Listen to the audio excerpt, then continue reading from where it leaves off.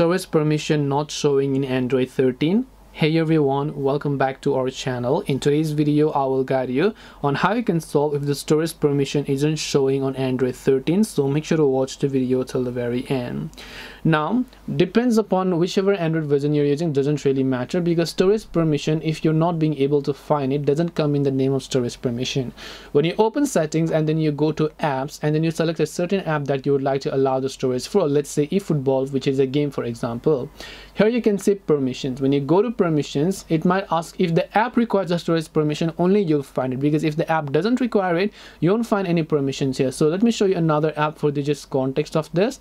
I will just select, let's say Instagram here. If I select Instagram and go to permissions, here you can see many permissions compared to the previous one.